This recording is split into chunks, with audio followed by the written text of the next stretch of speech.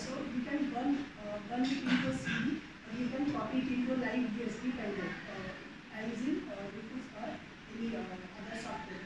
Uh, then uh, you have to uh, uh, plug your uh, pen drive or uh, uh, insert your CD into your machine uh, and uh, and choose uh, uh, go to boot boot. So uh, such type of uh, interface will come. Uh, you can use GParted application to install it.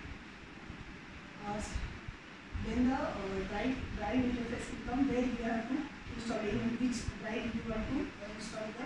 You can uh, select uh, the in which you have to install from this interface.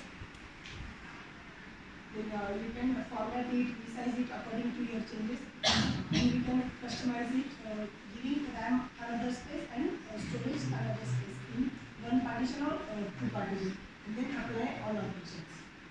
Then uh, the main interface will come, such as you put uh, your user account, your username, password, uh, etc. or name, it should come there. Uh, uh, it will be uh, come here uh, in this interface. And lastly, uh, the, the